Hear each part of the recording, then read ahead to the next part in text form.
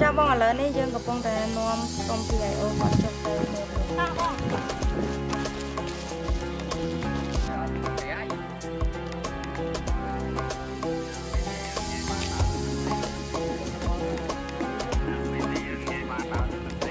ដោយសារនៅតំបន់នេះវា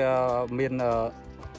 ផ្លូវច្រកចូលវែងហើយនឹងសម្បូរដោយរុក្ខជាតិយើងត្រូវការ2ថ្ងៃទៅ3ថ្ងៃដើម្បីធ្វើការសម្អាតនិងជួសជុលលបងតាមបណ្ដោយនេះទាំងអស់ដូចជាបលាលួសនិងកាត់ស្មៅតាមផ្លូវតាំងពីនៅចាប់ដើមរហូតដល់បង្គោលព្រំដែនហើយនឹងយើងរងចាំទៅដល់ឆ្នាំពណ៌ខៀវនោះបានរលប់យើងនឹងបាញ់ spray ពណ៌ខ្មៅ